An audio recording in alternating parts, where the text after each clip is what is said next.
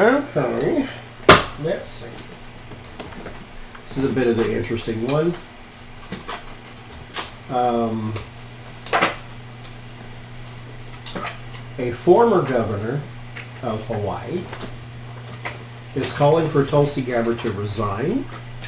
Not because of her vote, though. It's because they think that she cannot serve her constituents because she's running for president. So like her her focus is not on her constituents. It's on her job of running for president. Which, I mean, come on. Like, whether you like a lover, hater, or leader, that's kind of ridiculous. Like, I understand that she's running for president and her her focus is divided. But she can still go and be present for a vote. So, I'm not asking if she's going to resign because she knows she's not. I want to know, is this something more than just that? Because this guy, the former governor, he resigned when he was running for a higher office. He resigned from something to run for higher office. So he's saying she should do the same thing. And basically anybody. So I want to see, is this more personal because of the flack that she's getting, or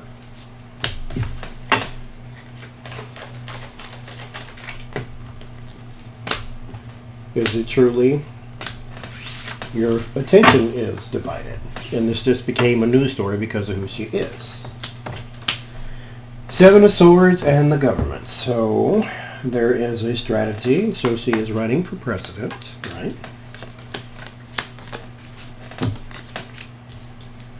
Um, yeah, I think that's really what it is. Well, let's see. Mm-hmm. So this is her running for office.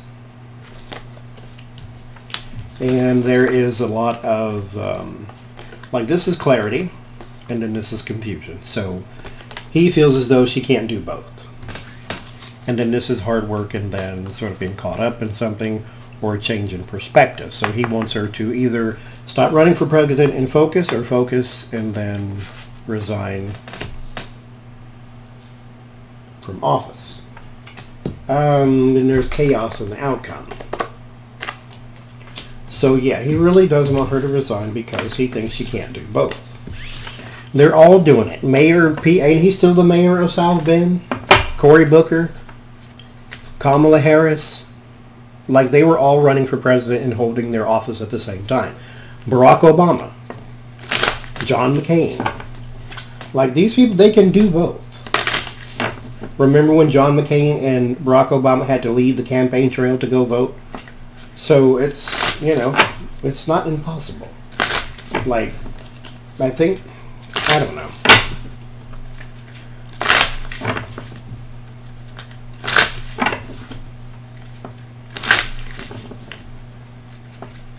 So after the election, what's next for Tulsi?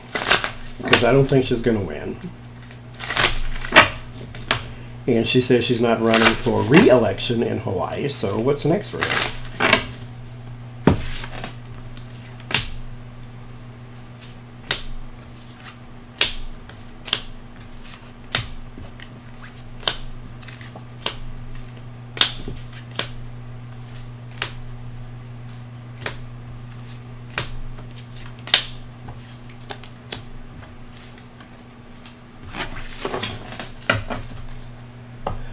Uh, mm, something from the past, something she used to do. So probably work with um, or organizations because her father, I guess, started an organization organization as well. It was a nonprofit. So maybe there is um, some stuff going on there.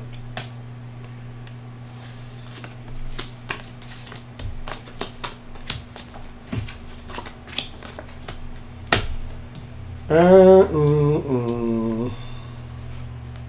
a new action, but it's but it's not what she wants to do. So it's probably is something with um, the family business, because mind you, just because her father started something and she was once passionate about it doesn't really mean that was her thing. It was just kind of a family thing. But she does. There's something back in government she wants to do. Maybe she'll run for um, a lower office, like a commissioner or something. Something. She's going to go back because her skill set is political right now. And she's going to go back into politics. She's going to start with something family related, but her heart is not into that. And then what surrounds her is going to be that. But what's coming is hope for the future. What she's resting on is just a new perspective. So when she gets off the campaign trail, then she has to sort of start her life over again because she didn't really have a plan B. But she'll fall back into this for a little while and then she'll go back into politics. Um, the fear is wandering, having nothing to do with the hermit. Her hopes is the knight in shining armor, so she hopes to make something really good happen. Um, in her environment is watch who um, you are in tandem with. The devil and the two of cups appear together, so whoever it is you are working with, stop. Because when you go across, there you are in government and then the devil and then the relationships. So whoever that is, get away from them immediately. Two of Pentacles, there will be a struggle to juggle. Two of Wands, you do have some hope for the future, though.